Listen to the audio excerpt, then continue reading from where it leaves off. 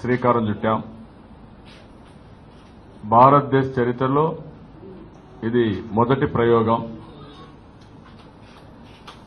అభ్యర్థుల్ని ప్రజలే ఎంపిక చేసుకునే విధానం. మామూలుగా పార్టీ నాయకులు కూర్చోనో ఢిల్లీలో కూర్చోనో పైరోలు చేసే వాళ్ళకి టికెట్ ఇచ్చేదాని వల్ల ఒక క్వాలిటేటివ్ క్యాండిడేట్స్ రావడం లేదు. ప్రజల ఆమోద యోగ్యం కూడా ఉండడం లేదు. విధిలేని పరిస్థితిలో ప్రజలు వాళ్ళని గెలిపించాలి ఏదో ఒక పార్టీ అనే ఉద్దేశం తప్ప ఇంకోటి రాలేదు. అందుకని ఇటీవల సుప్రీంకోర్టులో కూడా ఒక డెసిషన్ రిజెక్షన్ బటన్ కూడా పెట్టారు.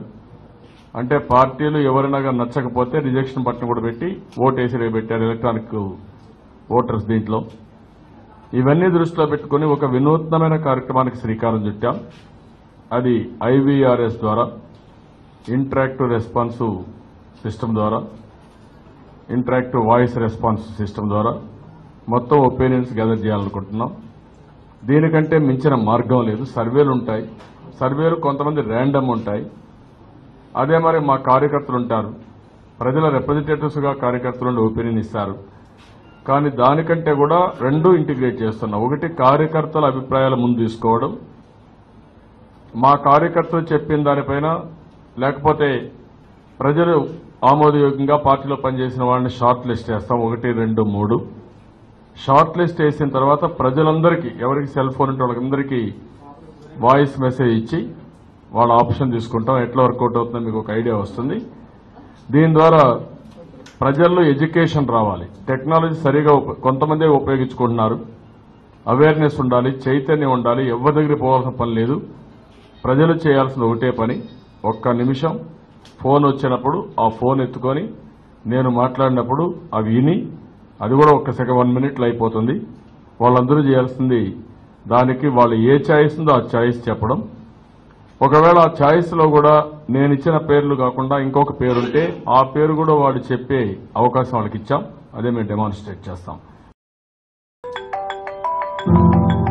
హలో? నమస్కారం. నేను మీ చంద్రబాబుని. నమస్తే సార్. ప్రజలే పాలకులు నాయకులు వారి సేవకులు ఇదే తెలుగుదేశం పార్టీ సిద్ధాంతం. అవును సార్. అందుకే మీ నియోజకవర్గానికి సరైన అభ్యర్థిని మీరే నిర్ణయించండి. చెప్పండి సార్. ఎర్రంశెట్టి శ్రీ అయితే ఒకటి నొక్కండి. సార్. కట్టా బాబురావు అయితే రెండు నొక్కండి. మహమ్మద్ ఖాళీద్ అయితే మూడు నొక్కండి. Okay sir. గుర్రం జాకబ్ అయితే నాలుగు నొక్కండి. సార్. ఎవరో నచ్చకపోతే జీరో నొక్కి మీరు అనుకున్న అభ్యర్థిని మీరు సూచించండి. నమస్కారం. ఉంటాను. ఉంటాను సార్. కోట్లు తీసుకుని సీట్లు ఇచ్చే ఈ రోజుల్లో ప్రజల మాట విని సీట్లు ఇచ్చే నాయకుడు గొప్ప నాయకుడు. మీ ఊరు మీ అభ్యర్థి మీ ఇష్టమే. నాకు ఇష్టం. జై తెలుగుదేశం హలో. నమస్కారం. నేను మీ చంద్రబాబుని. నమస్తే చంద్రన్న. ప్రజలే పాలకులు నాయకులు వారి సేవకులు. ఇదే తెలుగుదేశం పార్టీ సిద్ధాంతం. నిజమేనా? అందుకే మీ నియోజకవర్గానికి సరైన అభ్యర్థిని మీరే నిర్ణయించండి. చెప్పన్నా? గుబ్బల ధర్మారావు అయితే ఒకటి నొక్కండి. పోలిశెట్టి రమాపురం అయితే రెండు నొక్కండి. సరేళ్ళ కృష్ణమూర్తి అయితే మూడు నొక్కండి.